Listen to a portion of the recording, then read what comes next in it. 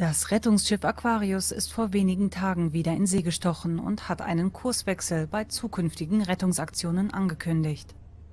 Das Schiff wird von der französisch-deutschen Organisation SOS Mediterranee und Ärzte ohne Grenzen unterhalten. Diese Bilder zeigen die Crew beim Training für die Seenotrettung von Flüchtlingen.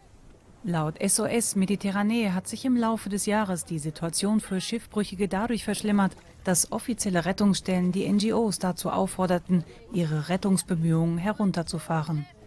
Die Crew habe sich stets an internationales Seerecht und alle gültigen Konventionen gehalten. Dazu gehöre beispielsweise vor einer Rettung auf die Anweisung einer Küstenwache zu warten. Rettungskoordinator Nick erklärt, wir haben jetzt beschlossen, dass wir nicht mehr warten werden. Wenn wir sehen, dass ein Boot Probleme hat und die hohe Wahrscheinlichkeit besteht, dass Menschen umkommen, dann werden wir sie sofort retten, so wie es internationales Seerecht vorsieht. uh, Daraus gehe außerdem hervor, so Romaniuk, dass sichere Anlaufhäfen bestimmt werden. Italiens neue Regierung unter Matteo Salvini hat jedoch die Praxis eingeführt, Häfen für private Rettungsschiffe zu schließen, mit der Absicht, Flüchtlinge vermehrt nach Libyen zurückbringen zu lassen.